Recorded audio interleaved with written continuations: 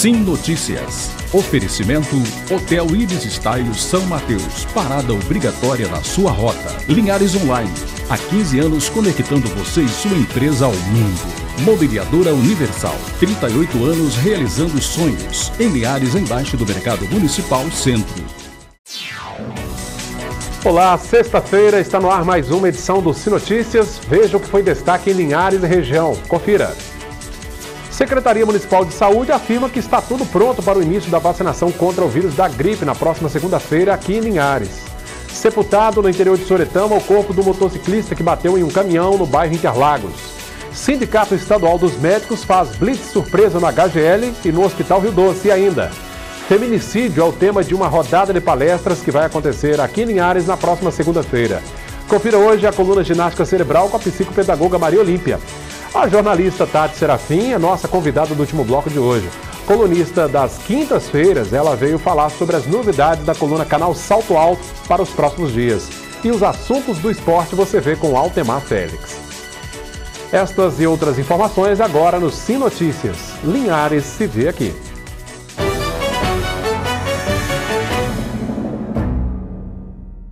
A você que nos acompanha pelo canal 20 via RCA na Grande Vitória, obrigado pela sua companhia de sempre. A Lagoa Juparanã em Linhares continua subindo mesmo após a abertura de um canal para escoar o excesso de água para o Rio Doce. Por conta dessa cheia, uma rua do centro da cidade foi interditada pela Defesa Civil e moradores estão apreensivos. Toda essa região fica às margens do Rio Pequeno, onde a Lagoa Juparanã deságua e segue naturalmente para o Rio Doce. O grande volume de água que a Juparanã tem recebido escoa com dificuldade por conta da barragem construída pela Samarco após a tragédia ambiental de 2015. Bom, essa região de planície segue então sendo alagada, ameaçando invadir algumas residências. A Fundação Renova disse que vem alargando a abertura do canal construído para aumentar a vazão da água, mas de maneira gradativa. Os resultados ainda não são visíveis. A Renova também informou que mais de 20 mil litros d'água por segundo tem escoado por esse canal. A previsão da Fundação é de que a Lagoa Juparanã chegue ao nível normal em até 45 dias. O Sindicato dos Médicos do Espírito Santo realizou uma blitz em dois hospitais aqui de Linhares nesta sexta-feira. A visita foi ao Hospital Geral de Linhares e ao Hospital Rio Doce. O presidente do Sindicato dos Médicos falou desta ação. Não, já é um esforço conjunto, juntamente com o Conselho Regional de Medicina, de fiscalização, que tem a parte do Conselho e tem a parte também das condições de trabalho, da, do, ambientais e até mesmo do próprio profissional que ali trabalha. Nós estamos, passamos pelo HGL, passamos aqui pelo Hospital Rio Doce e em cima disso nós tivemos aí um verdadeiro contraste. Mas ele foi justamente uma carência de mão de obra, que justamente escalas furadas de médicos, entendeu? Para poder. A superlotação chamou muita atenção muitos pacientes em macas improvisadas pelo corredor e dessa forma deu para se ver que existe carência também até de medicamentos e insumos. Isso chama atenção e nós colocamos bem claro em que a gestão pública, que é municipal, ela precisa ter um olhar é, mais concentrado para o HGL, que deu para se ver que também sofre toda a dificuldade, que é justamente as demandas de toda a região norte e até mesmo sul da Bahia. Aqui já é uma estrutura organizada, com medicina de ponta, atendendo a população da região norte, entendeu? E até noroeste, e com medicina de ponta e atendendo o SUS. Então, nessa, nesse contraste, deu para ver que tem muito a se fazer, a nível do HGL e aqui é um exemplo, é um espelho que faz com que o modelo ideal, em comparação com muitos hospitais, na Grande Vitória, está de parabéns aqui o Hospital Rio Doce. E isso se dá também para preservar o trabalho dos próprios médicos, não é? Sem dúvida alguma, o papel do sindicato é justamente isso. É a preocupação com as condições de trabalho, é a preocupação do ambiente que ele trabalha, os equipamentos, as condições que ele tem para poder atender a população. A partir do momento que a gente fiscaliza isso e vê que isso funciona, quem vai ser o maior beneficiado é a população. Nós vamos fazer São Mateus, Barra de São Francisco, São Gabriel da Palha, descendo até Colatina e pequenas maternidades, pequenas ah, associações hospitalares que até chegar eh, em Colatina. Dali em diante nós temos um novo calendário descendo, pegando a região noroeste, até chegar a Mimoso do Sul. A sua avaliação, a importância desse trabalho? A importância é fazer um raio-x, um raio-x da saúde pública em todo o estado. É, muitas vezes a, os colegas da região norte, noroeste, pedem a presença das entidades médicas para justamente ter oportunidade de chegar até os seus diretores e ao mesmo tempo relatar, entendeu, de uma forma mais nua e crua essa realidade que é a saúde pública no estado do Espírito Santo. Na próxima segunda-feira começa a vacinação contra o vírus influenza nas unidades básicas de saúde aqui do nosso município. De acordo com a Secretaria Municipal de Saúde, está tudo pronto para o início da vacinação. A vacina previne contra H1N1 e H3N3, subtipos do vírus influenza, causador da gripe. A imunização em Linhares começa na próxima segunda-feira. Para receber a dose da vacina, Basta dirigir-se a uma unidade de saúde de segunda a sexta e ficar ligado nas orientações. As nossas unidades elas vão funcionar em horário normal de atendimento, né, das 7 da manhã até as 16, 16 e 30, que é o horário que funciona as salas de vacina. E não há motivos para correria. Segundo a Secretaria de Saúde, há tempo de sobra para conseguir toda a documentação necessária e ser vacinado. Mas é preciso ficar atento, pois a vacina não vai estar disponível para todo mundo. Público-alvo específico, sim. Nós temos crianças até 4 anos, de 6 meses até 4 anos, 11 meses e 29 dias, né, que podem tomar vacina, que devem tomar vacina. Nós temos crianças de 6 meses até 8 anos, 11 meses e 29 dias, essas crianças é, que têm que tem problemas respiratórios. Essas aí deverão apresentar o laudo comprovando a doença. O laudo com o CID, tá, gente? Não pode vir sem o CID.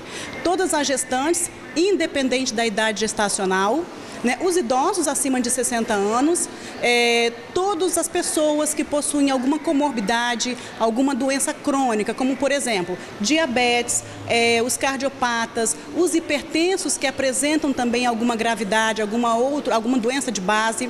É, nós temos esse, esses últimos anos foram contemplados também os professores. Infelizmente, não foi aberto para diretores, para coordenadores, para supervisores e sim para os professores, porque eles estão em maior contato com as crianças. As doses são direcionadas a um público específico, mas as medidas de prevenção são sempre as mais eficazes.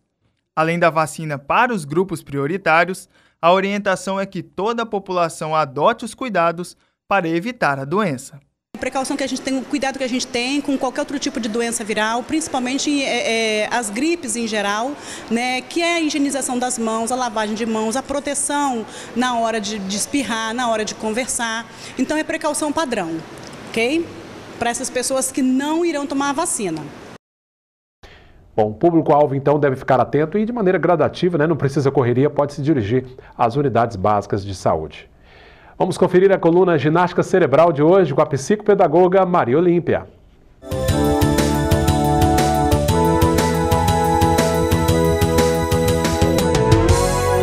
Olá, boa noite. Você já ouviu aquele ditado primeiro feito depois o perfeito? Pois é, existem pessoas gastando tempo demais tentando aperfeiçoar alguma coisa antes mesmo de fazê-la.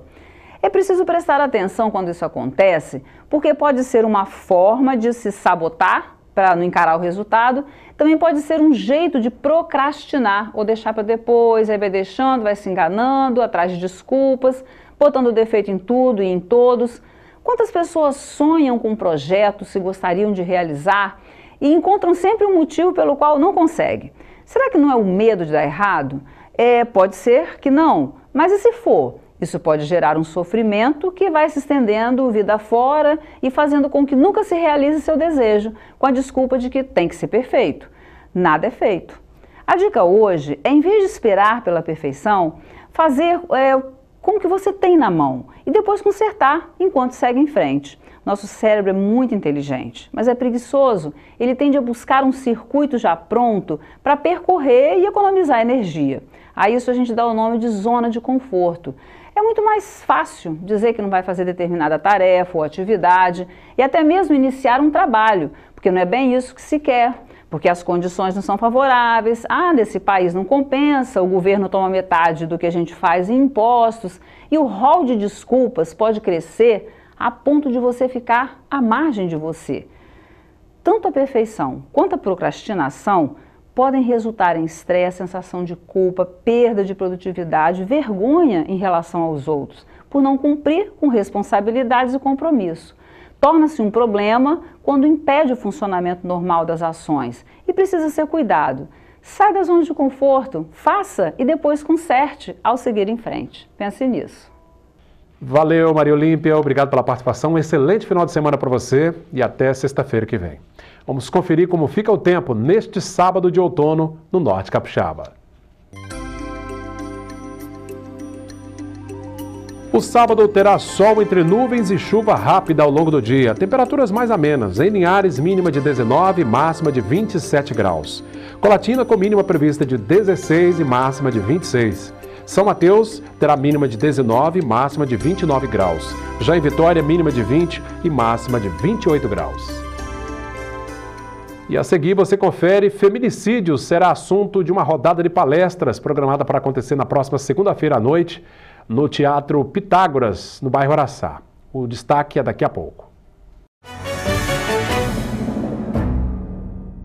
Foi sepultado no cemitério de Juncado, interior de Soretama, o corpo do jovem Elias Loyola Boldrini Júnior, 20 anos, morto em um acidente de trânsito. Ele conduzia uma moto pela rua João Gama quando, num cruzamento, se chocou com um caminhão no bairro Interlagos. Elias foi socorrido pelos bombeiros e levado para o hospital, mas acabou morrendo. O motorista do caminhão permaneceu no local até a chegada da polícia. Ele passou pelo teste do bafômetro, mas o resultado deu negativo para o uso de álcool. O diretório acadêmico central da Facele vai promover uma rodada de palestras sobre feminicídio na próxima segunda-feira, dia 23 de abril. Vai ser no auditório da Faculdade Pitágoras, no bairro Araçá, e é aberto ao público em geral. É, a ideia do tema, na verdade, foi a partir dos dados preocupantes que nós pudemos analisar, nós podemos ver todo dia no noticiário o feminicídio, que é a violência contra a mulher em vários é, aspectos. É um, é um tema muito importante e relevante para a discussão acadêmica, principalmente na luz do direito penal.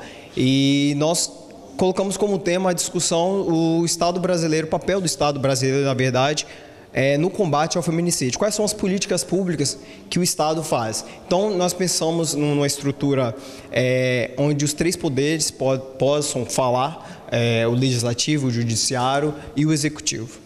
Pois é, inclusive as palestras foram pensadas dessa forma, os convidados, inclusive, exatamente pensados para cada tema, né? Exatamente. É, para falar do, do, executivo a nível do Estado do Espírito Santo, nós estamos trazendo o ex-secretário de Segurança de Defesa Pública, de Segurança Pública e Defesa Social, o André Garcia. Nós estamos é, trazendo também a delegada Suzana, que ela é especialista na área, ela é, trabalha na delegacia da mulher daqui de Linhares atua, e nós estamos trazendo também o senador Ricardo Ferraço, que vai tratar, vai falar sobre o que, que o legislativo está fazendo pra, pra, para o combate e prevenção dessa, dessas taxas tão altas e dessa preocupação que a gente tem. Estão englobando todos os cursos da Facel, toda a sociedade civil também está convidada e os acadêmicos também da Faculdade de Pitágoras. Eu acho que é um tema ele pode ser tratado sim na, na, luz do direito penal, mas também é um tema extremamente relevante no, de cunho político e social quando nós falamos de sociedade e políticas públicas. É um tema extremamente relevante. Então, vamos reforçar para quem está em casa que dia, horário e quem vai poder assistir a essas palestras. Nessa próxima segunda-feira, dia 23 de abril, a partir das 19 horas, na Faculdade Pitágoras, no auditório da Faculdade Pitágoras. É o feminicídio, né, que tem feito muitas vítimas Brasil afora. A gente vê agora como fechou o dia o mercado do café nesta semana.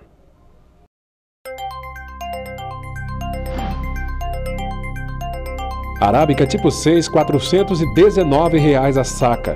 Arábica 7, 392 reais. Conilon tipo 7 fechou a semana valendo 314 reais a saca. Olha, o comércio varejista de Linhares, as lojas de modo geral, ficarão fechadas neste sábado, feriado de Tiradentes. Os supermercados, no entanto, irão abrir as portas, mas só até às seis da tarde, conforme acordo com o Sindicato dos Trabalhadores do Comércio. A feira livre, que acontece tradicionalmente no bairro Araçá todo sábado, também vai funcionar normalmente pela manhã. O shopping da cidade também vai ter atendimento normal neste sábado feriado de Tiradentes. E agora a gente vê a coluna do nosso esporte com Altemar Félix. Sim Esportes. Oferecimento Paulos Esportes e Central Bikes e Motos. Muito bem, agenda esportiva com diversas modalidades neste final de semana aqui em Linhares e região. Anote aí, sábado, é, feriado agora, dia 21 de abril, dia de Tiradentes, no Centro de Treinamento do Linhares Futebol Clube tem sábado esportivo no Três Barras, a partir das sete e meia da manhã. Contato para inscrições 999456942. Lembrando que é tudo de graça, viu? Bom, eliminatórias número 3, torneio de futebol 1 de maio, no estádio do bairro Santa Cruz, a partir das sete e meia da manhã. Amistosos, Escolinha, Feijão, Nico e Golaço. Categorias 10, 11, 11, 13, 14 15, a partir das sete e meia da manhã. Então, Atividades esportivas no feriadão não faltam. Afinal, o corpo tem que ficar sempre em movimento. Muito obrigado, Altemar, pela participação. Um excelente final de semana e até segunda-feira. Depois do intervalo, eu converso com a jornalista Tati Serafim, que é colunista das quintas-feiras aqui do nosso telejornal, que vai falar sobre as novidades que a coluna Canal Salto Alto está preparando para os próximos dias, tanto aqui na TV quanto nas redes sociais e na internet de modo geral. O bate-papo com a nossa colega Tati Serafim é daqui a pouco. E a gente, esse bate-papo do último bloco de hoje é bem descontraído, né? A minha convidada, a nossa colunista da quinta-feira, né, veio participar conosco hoje, porque ela está preparando muitas novidades já para os próximos dias, não só na coluna de quinta-feira do nosso telejornal, mas também no seu blog, nas suas redes sociais. Eu converso então nesse último bloco com a nossa colega jornalista Tati Serafim. Tudo bem, Tati? Tudo bom, Cláudio. Bom, Tati, a gente está acostumado a ver as suas colunas, as suas dicas, né, das mais variadas na, na quinta-feira, né? E agora você me falou que está preparando algumas novidades aí. Já dá para adiantar alguma coisa do que a gente vai ter nos próximos dias? Dá, dá sim, Cláudio. Primeiro, obrigada pela oportunidade. É um sempre um prazer estar aqui com vocês. Estou acostumada a aparecer, mas não dessa forma, né? É, jornalista Hoje vim... essa, essa coisa, né? é... né? Sempre está entrevistando. É, eu até é. falei com você, eu sou acostumada a entrevistar, agora dar entrevista. Ah, vamos bater papo, né? Então tá, então sim, tem muita novidade, por isso que eu vim aqui para conversar com vocês, para uhum. falar um pouquinho do que está rolando lá no blog e de certa forma vai trazer aqui também para nossa coluna de quinta-feira, né? Uhum. Tem vários projetos sendo colocados em prática, graças a Deus estou conseguindo colocar alguns sonhos aí para né, para andar mesmo, para uhum. sair do papel e eu gostaria assim de estar tá dividindo com vocês. E um dos projetos que está rolando no, no, blog, nas minhas redes sociais, eu já comecei a divulgar um pouco essa semana e começa na semana que vem, que é um projeto Mamãe Fitness, que Olha agora que eu sou mamãe, né? Vocês viram. Pois é, a gente mostrou, inclusive, a bebê, a, a Helena, né? A Helena. A Helena. Tá com quantos meses? Quatro, vai fazer cinco meses cinco já. Cinco meses. Então a Tati está assim, em pleno voo aí, é. com, com, com, a bebezinha, tem, tem que administrar esse tempo, né, Tati? Isso. E aí você vai aproveitar essa sua experiência Isso. como mãe, né?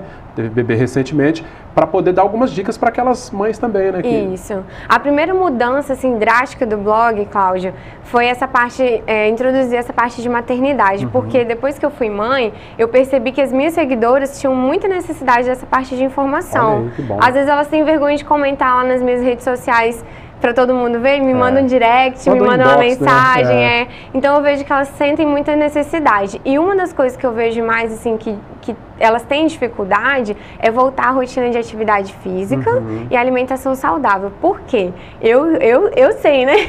que agora eu tenho experiência assim, de, né? como mãe.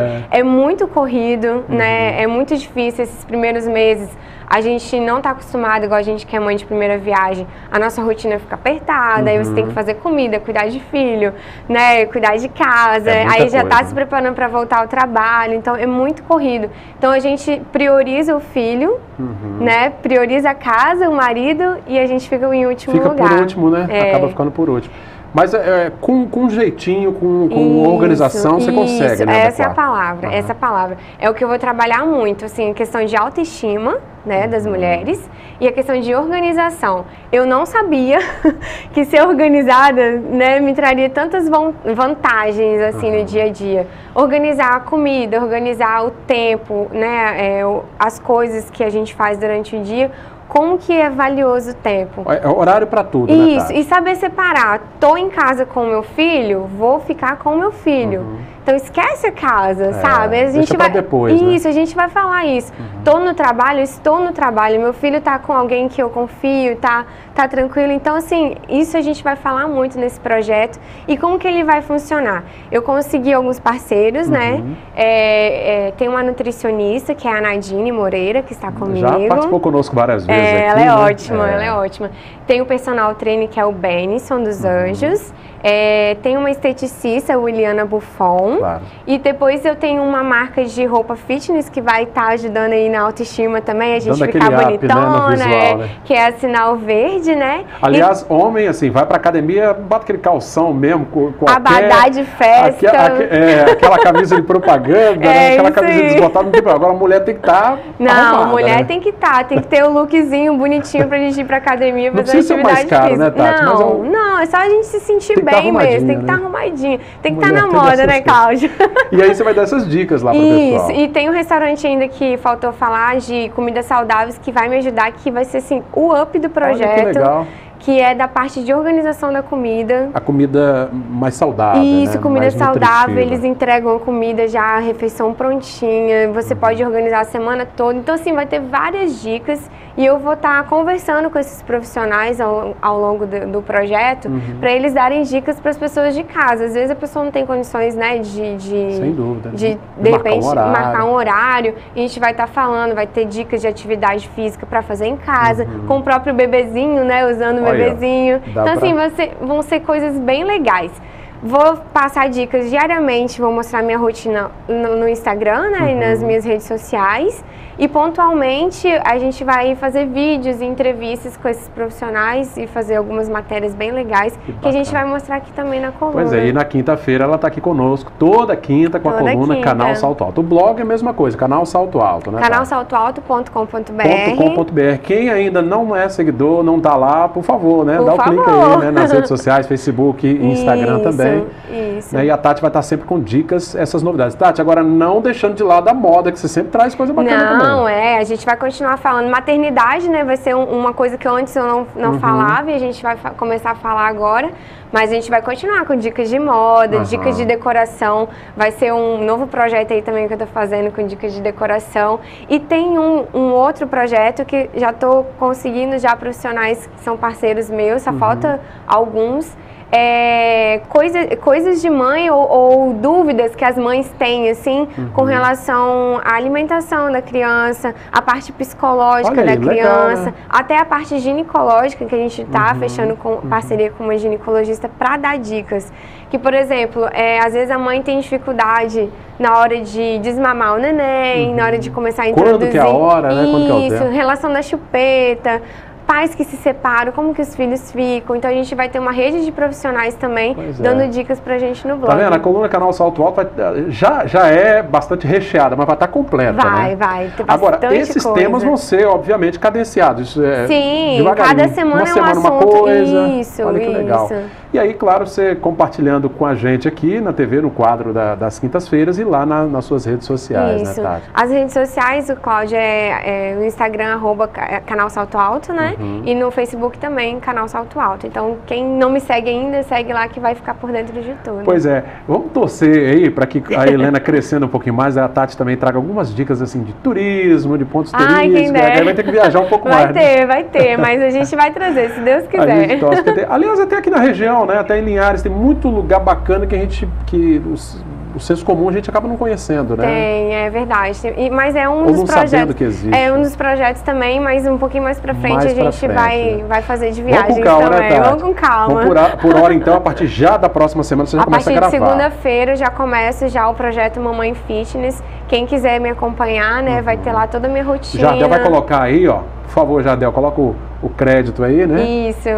Instagram, arroba É canal Salto Canal Alto e o Salto Alto. Facebook também. canal Salto Alto, só digitar lá, seguir, passar a seguir. E, e, Isso. assim, todo dia vai ter sempre dica nova lá, né? Vai, vai É. sim, né? O blog a gente tem as possibilidades de fazer matérias Uhum. em vídeos, né? E tem também as matérias escritas. Tem o coluna social do blog também que eu estou retomando. Olha que legal. Então tem umas notinhas do que está acontecendo aí na, nossa- na sociedade niarense. A gente Uhum. pontua lá no canal Salto Alto. Tem muita coisa aí para acontecer Olha aí aí, nossa ano. colega Tati Serafim, jornalista, mamãe, né? Cuidando aí da Helena e tirando tempinho para cuidar cuidar da sua coluna, Isso. a coluna das quintas-feiras aqui da TV e dos seus canais, né? O, o, o blog que ela tem, né? Canal Salto Alto e também as redes sociais.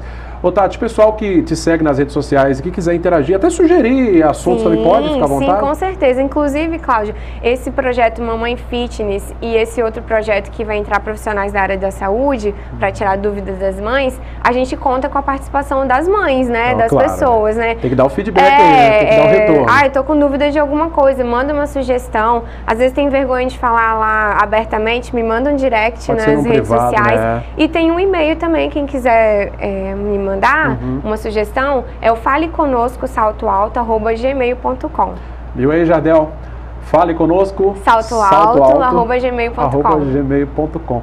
Ô, Tati, Obrigado por essa presença, né, essa simpatia. A Tati está toda quinta-feira conosco aí na coluna Canal Salto Alto. Nessa semana ela veio na sexta exatamente para passar as novidades. Ontem tivemos a coluna dela e nessa sexta passando então as novidades. Então fica atento, toda quinta-feira aqui no nosso telejornal e acompanhe a coluna Canal Salto Alto também no, no blog e nas redes sociais, Instagram, Facebook. Sim. Tati, obrigado pela presença. Muito obrigada, viu? Cláudia. É sempre um prazer estar aqui com vocês. Vocês me recebem também. Não trabalho aqui, mas eu me sinto super em casa, é né? Casa, né? É, casa, eu agradeço muito a parceria da TV Sim, que faz muita diferença no meu trabalho. Muito obrigada. Tá? Para nós também, uma diferença e Obrigadão. tanto. Obrigado mais uma vez. Tchau, gente. A você da Grande Vitória que nos acompanha pelo canal 20 via RCA, eu agradeço a audiência de sempre. Pessoal de Linhares região, continue interagindo conosco também, deixando sugestões na nossa página, aparece o endereço aí, é, facebook.com.br TVC Linhares. Esta entrevista, todo o nosso conteúdo você pode rever no nosso canal direto no YouTube. Já o telefone da redação é este aí, 3373-2000. A todos um excelente final de semana. Sim Notícias. Linhares se vê aqui.